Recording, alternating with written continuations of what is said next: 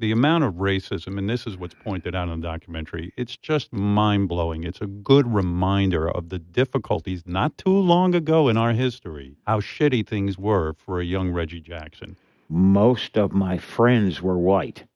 That made a problem for me and my white friends because the parents did not want them to associate with me. That pain is unbelievable. And, and, the worst thing that ever happened to me when I was a kid, I was about 11 or 12 years old, and I was riding my buddy's bicycle because it was dusk, getting dark, and he said, "Take my bike, Reggie, get it tomorrow."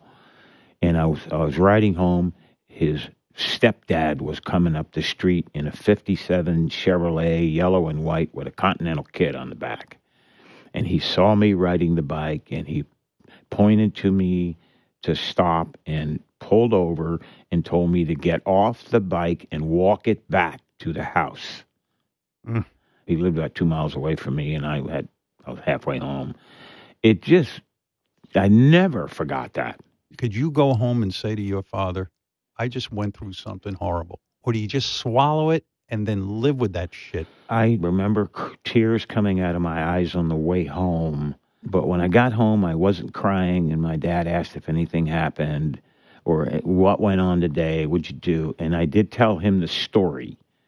And so I can remember a hug uh, from him, but but but that's all. That that's all I can I can remember. Those kinds of experiences lead you to feel the rest of your life like you're less than. And it's a very painful thing to confront. I honestly think it made me stronger.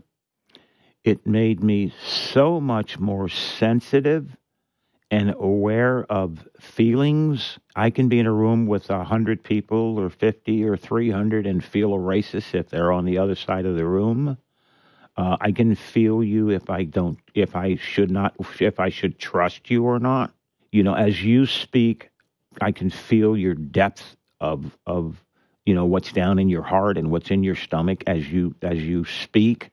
I'm aware of that.